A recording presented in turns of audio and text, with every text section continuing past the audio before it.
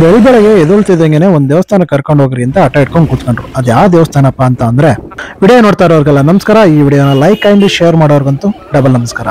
ನಾನು ಯಾಕೋ ಸ್ವಲ್ಪ ದಿವಸದಿಂದ ಕನ್ಸುಗಳು ಸರಿಯಾಗಿ ಬೀಳ್ತಾ ಇಲ್ಲ, ನಿದ್ದೆನೂ ಸರಿಯಾಗಿ ಬರ್ತಾ ಇಲ್ಲ. ಸೊ ಘಾಟಿ ಸುಬ್ರಹ್ಮಣ್ಯಕ್ಕೆ ಹೋಗಿ ಒಂದು ಪೂಜೆ ಮಾಡಿಸ್ಕೊಂಬರೋಣ ಅನ್ನೋದೇ ಒಂದು ಹಿಂಸೆ ನಮ್ಮ ಮನೆಯವ್ರದ್ದು ಸರಿ, ಹೋಗೋಣ ಅಂದ್ಬಿಟ್ಟು ನಾವು ಬೈಕ್ ತಗೊಂಡಿದ್ದೆ ಬೈಕಿಗೆ ಪೆಟ್ರೋಲ್ ಹಾಕ್ಸಿದ್ದೆ, ಇಬ್ರು ಹೊಂಟಿದ್ದೆ.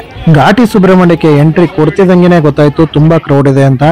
ಸೊ ಬಂದಿರೋದೇ ಉಂಟಂತೆ, ಪೂಜೆ ಮಾಡಿಸ್ಕೊಂಡೆ ಹೋಗೋಣ ಅನ್ಬಿಟ್ಟು ಅಲ್ಲಿ ಎಂಟ್ರಿಲೇ ಈ ತರ ಒಂದು ಮೂರ್ತಿ ಇದೆ. ಅದಕ್ಕೂ ಪೂಜೆ ಮಾಡ್ಕೊಂಡು ಒಳ್ಳೇದ್ ಮಾಡಪ್ಪ ಅಂತ ಕೇಳ್ಕೊಂಡು ನಾವು ಕ್ಯೂಗ್ ನಿಂತ್ಕೊಂಡೇ ಬಿಟ್ಟು. ಕ್ಯೂಲ್ ಹೋಯ್ತಾ ಹೋಯ್ತಾ ಗೊತ್ತಾಯ್ತು, ಆಚೆ ಮಾತ್ರ ಕ್ಯೂ ಇಲ್ಲ, ಒಳಗಡೆನೂ ಇನ್ನೂ ತುಂಬಾ ತರ ಕ್ಯೂ ಇದೆ ಅಂತ. ಈ ದೇವಸ್ಥಾನದಲ್ಲಿ ತುಂಬಾ ತರ ಸೇವೆಗಳಿದೆ. ಈ ದೇವಸ್ಥಾನದಲ್ಲಿ ಯಾವ್ಯಾವ ತರ ಸೇವೆಗಳಿದೆ ಅಂತ ಒಂದು ಲಿಸ್ಟ್ ಕೂಡ ಹಾಕ್ಬಿಟ್ಟಿದ್ದಾರೆ. ಈ ದೇವಸ್ಥಾನಕ್ಕೆ ಬರೋಕೆ ಧರ್ಮದರ್ಶನದ ರೂಟ್ ಅಂತೂ ಇದೇನೆ. ಐವತ್ತು ರೂಪಾಯಿ ದರ್ಶನ ಅಂತ ಇನ್ನೊಂದು ರೂಟ್ ಇದೆ. ಹಾಗೆ ಈ ವಯಸ್ಸಾದವರು ಅಥವಾ ಚಿಕ್ಕ ಮಕ್ಕಳು ನಿಂತ್ಕೊಂಡಿರೋರಿಗೆ ಬೇರೆ ಕಡೆಯಿಂದ ಡೈರೆಕ್ಟ್ ಆಗಿ ದರ್ಶನ ಕೊಡ್ತಾರೆ.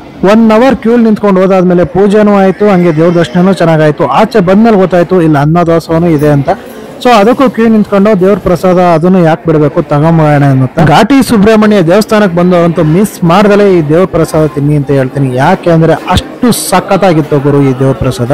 ನಮ್ಗಂತೂ ಪಾಯಸ, ಅನ್ನ, ಸಾಂಬಾರ್ ಜೊತೆ ಒಳ್ಳೆ ಬ್ಯಾಟಿಂಗ್ ಆಯ್ತು. ಲಾಸ್ಟ್ಗೆ ಅನ್ನ ಮಜ್ಗೆನೂ ಊಟ ಮಾಡಿ ಆಚೆ ಬರ್ಬೇಕಾದ್ರೆ ಇಲ್ಲಿ ದೂರದಿಂದ ಸಕ್ಕದಾಗಿರೋ ಒಂದು ಪ್ಲೇಸ್ ಕಾಣಿಸ್ತು. ಅಲ್ಲಿ ಹೋಗೋಣ ಅಂತ ಹೋಗ್ಬೇಕಾದ್ರೆ ಅಲ್ಲೊಬ್ರು ಅಂಗಡಿರು ಇಲ್ಲೊಂದು ಉತ್ತ ಇದೆ. ಈ ಉತ್ತಕ್ಕೆ ನೀವೇನಾರು ಅನ್ಕೊಂಡು ಒಂದ್ ಗ್ಲಾಸ್ ಹಾಲು ತುಪ್ಪ ಹಾಕಿದ್ರೆ ತುಂಬಾ ಒಳ್ಳೇದಾಗುತ್ತೆ ಅಂದ್ರು.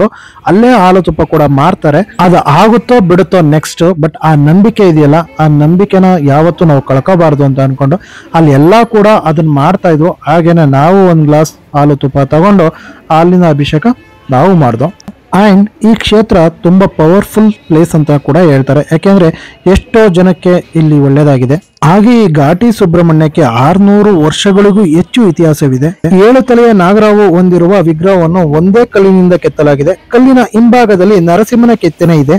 ಇದು ಪೂರ್ವಾಭಿಮುಖವಾಗಿದ್ದರೆ ನರಸಿಂಹ ದೇವರ ವಿಗ್ರಹವು ಪಶ್ಚಿಮ ಮುಖವಾಗಿದೆ. ಎರಡೂ ದೇವತೆಗಳು ಏಕಕಾಲದಲ್ಲಿ ಭಕ್ತರಿಗೆ ಗೋಚರಿಸುವಂತೆ ಮಾಡಲು ಗರ್ಭಗುಡಿಯಲ್ಲಿ ವಿಗ್ರಹದ ಹಿಂದೆ ದೊಡ್ಡ ಕನ್ನಡಿಯನ್ನು ಇರಿಸಲಾಗಿದೆ. ಓಕೆ, ನಾವು ಆವಾಗಲೇ ಮೇಲಿಂದ ನೋಡಿದ್ದು ವ್ಯೂ ಇದೇನೆ. ಅದ್ರ ಹತ್ರಕ್ಕೆ ಹೋದ್ಮೇಲೆ ಏನು ಗೊತ್ತಾಯ್ತು? ಇಷ್ಟೊಂದು ನಾಗರ ಕಲ್ಲುಗಳು ಒಂದೇ ತವ ನೋಡಿ ನಾನಂತೂ ಶಾಕ್ ಆದೆ ಗುರು. ಈ ಪ್ಲೇಸ್ ಅಲ್ಲಿ ಇಷ್ಟೊಂದು ನಾಗರ ಕಲ್ಲುಗಳು ಯಾಕೆ ಹಾಕಿದ್ದಾರೆ ಅಂತ ನನಗಂತೂ ಗೊತ್ತಿಲ್ಲ ಗುರು. ನಿಮ್ಗೇನಾದ್ರು ಗೊತ್ತಿದ್ರೆ ಕಮೆಂಟ್ ಮಾಡಿ. ಇಲ್ಲಿ ನಾಗಪ್ಪಂದು ಒಂದು ದೊಡ್ಡ ವಿಗ್ರಹ ಇದೆ. ಇದಕ್ಕೆಲ್ಲ ಫ್ಯಾಮಿಲಿಗಳೆಲ್ಲ ಬಂದು ಪೂಜೆ ಮಾಡ್ಕೊಂಡು ಹೋಗ್ತಾರೆ. ಸಾವಿರಾರು ನಾಗರ ಕಲ್ಲುಗಳಿವೆ ಗುರು, ಇಲ್ಲಿ ಏನ್ ಇಷ್ಟೊಂದಿದೆ ಅಂತ ನನಗಂತೂ ಗೊತ್ತಿಲ್ಲ. ಗೊತ್ತಿರೋ ದಯವಿಟ್ಟು ಕಮೆಂಟ್ ಮಾಡಿ. ಹಾಗೆ ಈ ವಿಡಿಯೋನ ಇಲ್ಲಿ ಮುಗಿಸ್ತಾ ಇದ್ದೀನಿ. ಈ ವಿಡಿಯೋ ಬಗ್ಗೆ ನಿಮ್ಗೆ ಇಷ್ಟ ಆಗಿರೋ ಲೈಕ್ ಮಾಡಿ ಕಮೆಂಟ್ ಮಾಡಿ ಶೇರ್ ಮಾಡಿ. ನಮಸ್ಕಾರ.